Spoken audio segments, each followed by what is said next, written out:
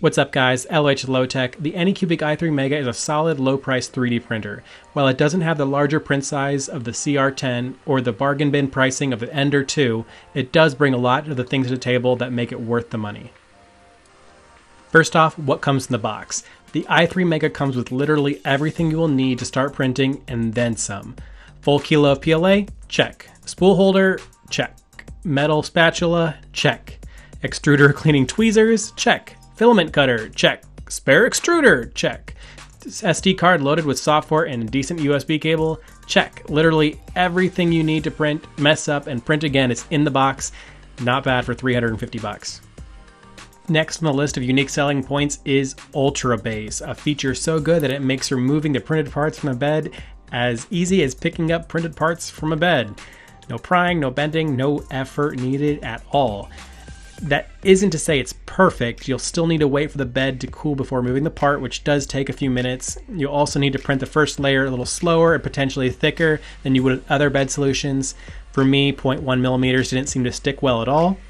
And finally, small prints don't adhere very well to it, so you may need to use a raft if you find your parts being knocked over. But as a one stop solution for adhering your prints, it's a great option. Finally, the other main selling point is the build quality. This printer is built like a tank it's very simple to assemble. The entire chassis is metal, rigid, and self contained. No separate harder box like on the CR10. It also has two Z axis motors and screws for extra stability, something you'd only get on the CR10S. The color touchscreen and full size SD card slot makes it easy to load and to print, especially for beginners, and the bed calibration screws are also toolless and easy to use. But the selling points don't stop there. It also comes standard with a filament sensor, again, something you need to pony up for on the CR10S to get. Most i3 Megas can upgrade their drivers to the TMC 2208s for silent operation, and the heated bed can hit 120C right out of the box for easier ABS printing. You would need to mod your CR10 to hit close to those temperatures. So what are the downsides? The print dimensions are only 210 by 210 by 205, respectable but by no means large.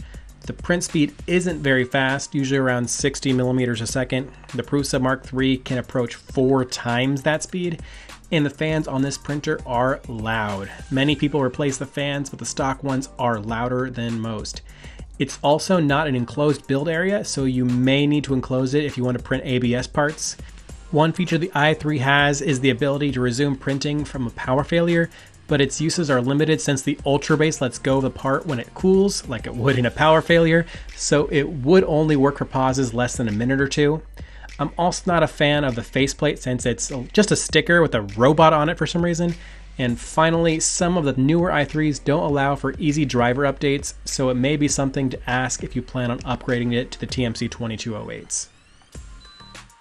But in the end, should you get one? And as with all questions of 3D printers, it comes down to price and how much are you willing to spend? A Prusa Mark III is equal to or better than the i3 in pretty much every way, maybe except for build quality, but it's three times the price. A CR10S matches the feature set and expands the build volume, but it is considerably larger and it costs about 50% more. A regular CR10 can be had for about the same price, but unless you really need the bigger build volume, it doesn't have any features that the i3 lacks.